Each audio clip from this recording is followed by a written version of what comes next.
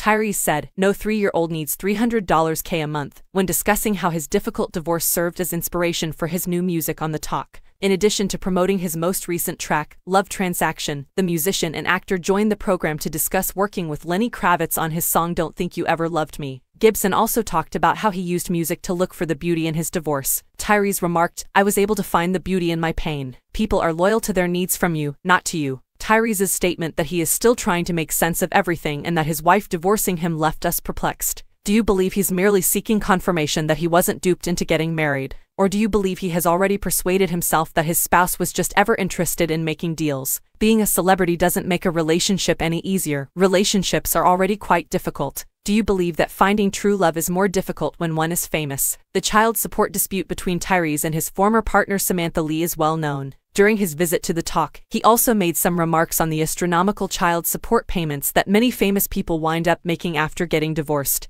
In fact, Tyree shared a clip from the show on social media, along with the caption, Don't be upset with me, I showed up with my truth because I was invited. At FedOx airs today at 2 p.m. All I can say is be ready, things quickly became real.